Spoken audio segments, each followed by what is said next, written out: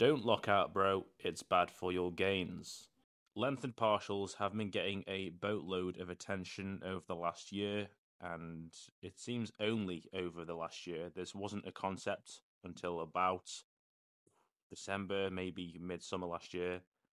Naturally, I had to dive in and see what all the fuss was about. But instead of going through the endless studies, because who has time for that, I decided to go on a whim and take advice from some pretty pretty smart people who recommended it and thought, well, what the heck?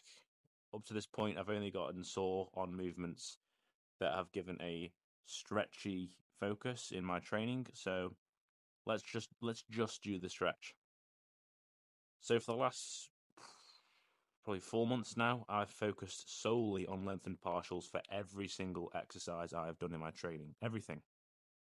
And this isn't about debunking research. This is just a real, unfiltered account of my experience of the last few months.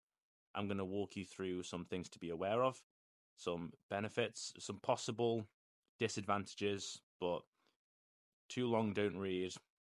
Generally speaking, they are worth it. So I'll start with something to be aware of. I'm not going to say the bad. This is just something to be aware of. On certain exercises, especially back exercises, it seems it is pretty tough to measure exactly what a suitable, consistent range of motion is. It felt like, especially on things like pull ups, that the toughest part of the movement was sometimes, shall we say, being skipped. Because on a pull up, for me, it's about the mid range to the top range of the movement. So if I'm only going to do the bottom range, I'm kind of just flailing around and it looks a bit silly. On a machine row or a cable row or a one arm cable row, one of my favorite movements, you don't exactly know how far back to pull the elbow.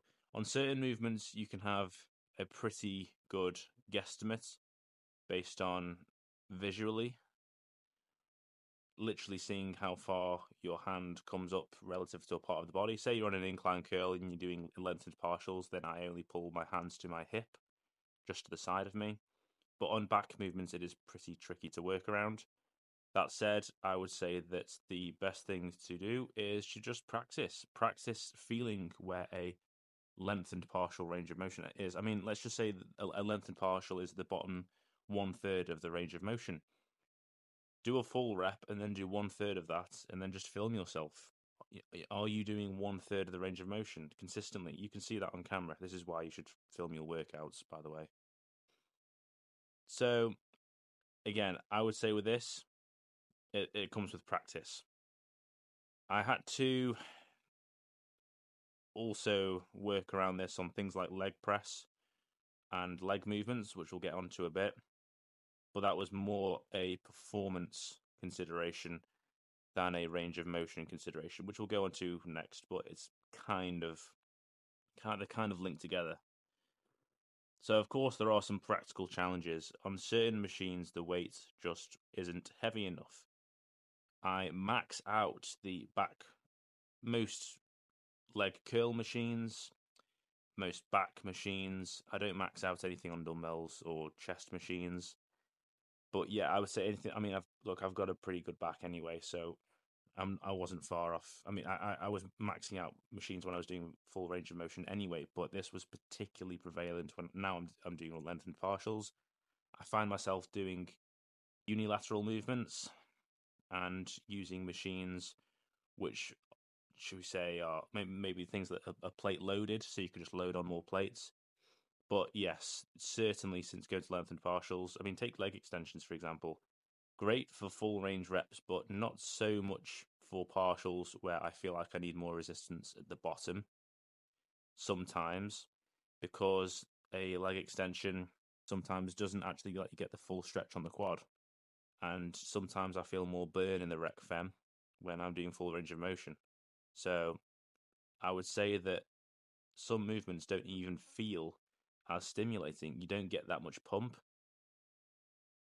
You don't. It it, it can be hard to distinguish between if you're targeting the muscle or something else that's assisting because the rep is so heavy. Sometimes it's tough. it takes practice. I'm not going to pretend that it can't be worked around, but I'm not going to pretend like they're perfect either. Dumbbells are another issue for some people. Uh, my gym has a really high dumbbell cap. It's something insane, like 150 kilograms. But sometimes you still have to practice and get creative with how you set up the dumbbells, especially with things like failing safely on dumbbell movements when the the weight is a little bit heavier. And I think I've I've kind of ragged on the the most serious pitfalls up to this point. I'd like to touch on the benefits.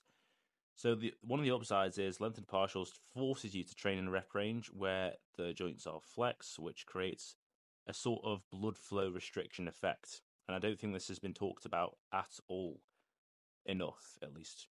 This means that even with lighter weights, your muscles feel worked to their muscle, uh, sorry, their maximum capacity.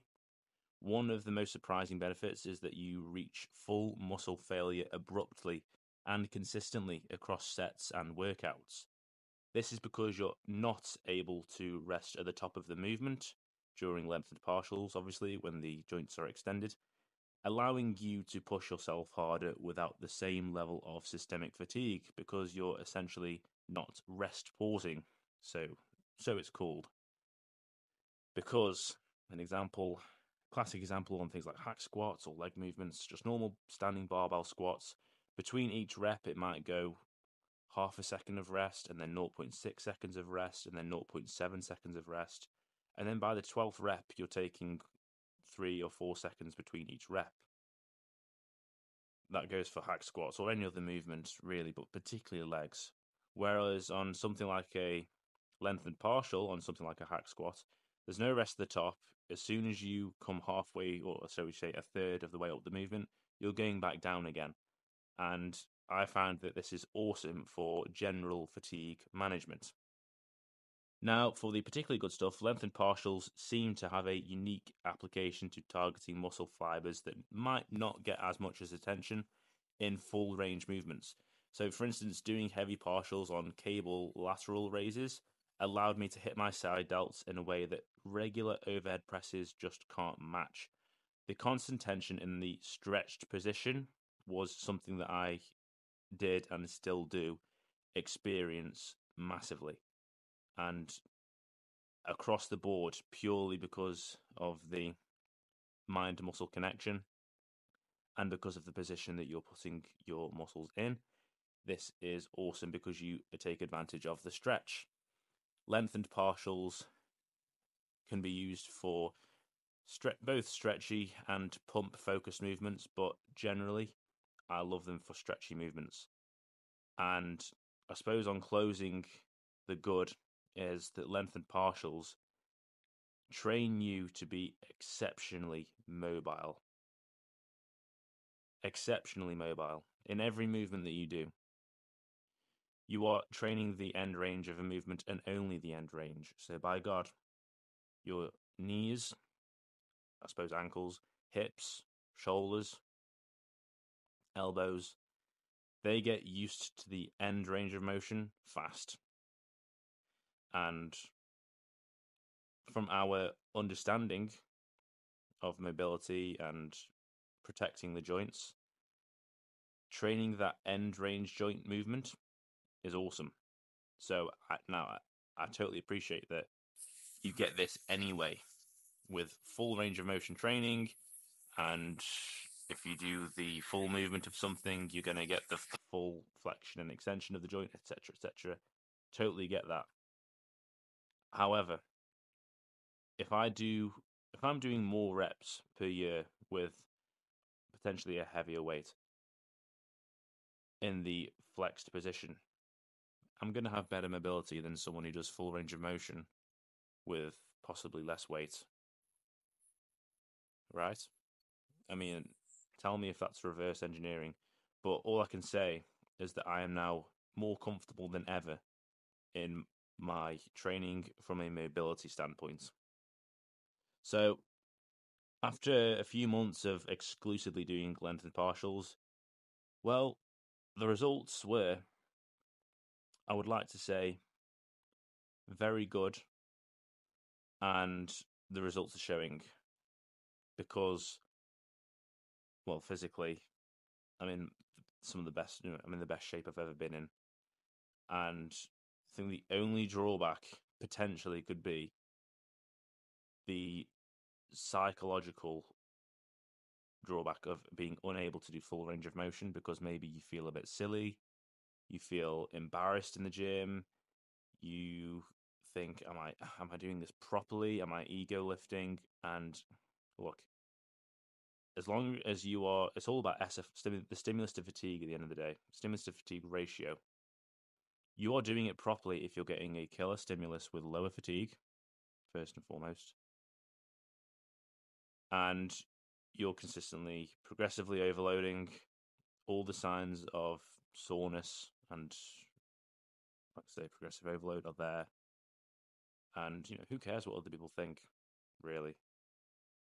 And of course, safety is crucial for long term progress, so that is also a consideration with le- lengthened partials.